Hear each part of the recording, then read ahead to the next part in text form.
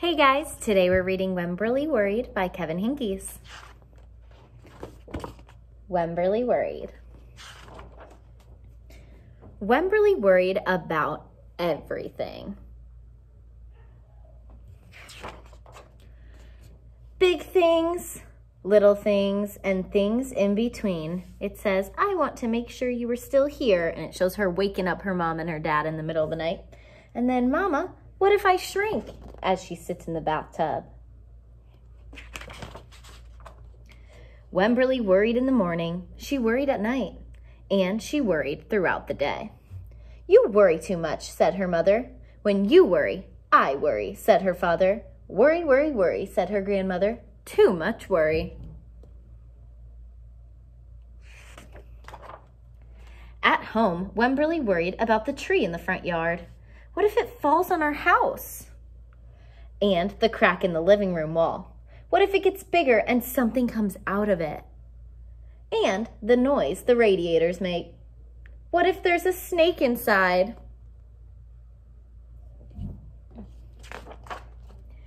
At the playground, Wemberly worried about the chains on the swings and the bolts on the slide and the bars on the jungle gym. Too rusty, too loose, too high. And always she worried about her doll, Petal. Shouldn't Petal have a car seat too? I think she should. I found her, sweetie. Petal's lost forever. I'll wait for you, Petal, as Petal goes into the washing machine. Don't worry, said her mother. Don't worry, said her father. But Wemberly worried. She worried and worried. When Wemberly was especially worried, she rubbed Petal's ears. Wemberly worried that if she didn't stop worrying, Petal would have no ears left at all. On her birthday, Wemberly worried that no one would come to her party. See, said her mother, there was nothing to worry about. This is the best present ever. I wish I had my birthday today. But then Wemberly worried that there wouldn't be enough cake. Do you think there'll be enough cake? We'll find out. On Halloween, Wemberly worried that there would be too many butterflies in the neighborhood parade. See, said her father, there was nothing to worry about. But then Wemberly worried because she was the only one. So first, she thought there would be too many. Then she was the only one, and she still was worried. You worry too much, said her mother. You worry, I worry, said her father. Worry, worry, worry, said her grandmother. Too much worry. Soon, Wemberly had a new worry, school.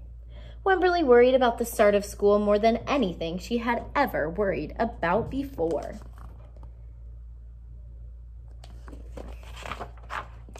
By the time the first day arrived, Wemberly had a long list of worries.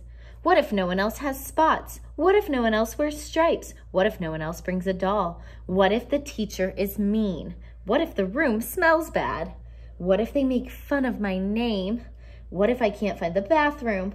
What if I hate the snack? What if I have to cry?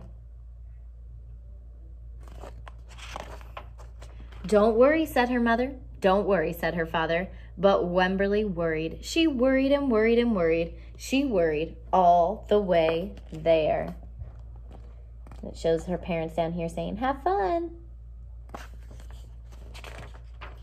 While Wemberly's parents talked to the teacher, Mrs. Beecham, Wemberly looked around the room.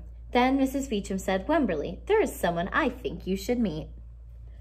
Her name was Jewel. She was standing by herself. She was wearing stripes. She was holding a doll. So those were all things that Wemberly was worried about. She had no reason to worry because none of them happened. At first, Wemberly and Jewel just peeked at each other. This is Petal, said Wemberly. This is Niblet, said Jewel. Petal waved. Niblet waved back. Hi, said Petal. Hi, said Niblet. I rub her ears, said Wemberly. I rub her nose, said Jewel. So it looks like they're becoming friends. Throughout the morning, Wemberly and Jewel sat side by side and played together whenever they could. Petal and Niblet sat side by side too. Wemberly worried, but no more than usual, and sometimes even less. Before Wemberly knew it, it was time to go home.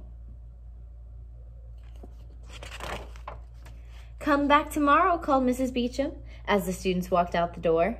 Wemberly turned and smiled and waved. I will, she said. Don't worry. The end. So when Wemberly got distracted at school and she met a new friend and ended up loving it, she had nothing to worry about anymore and she was able to enjoy school and decided she was going to come back the next day without a worry. Alrighty, I hope you guys enjoyed Wemberly Worried by Kevin Henkes.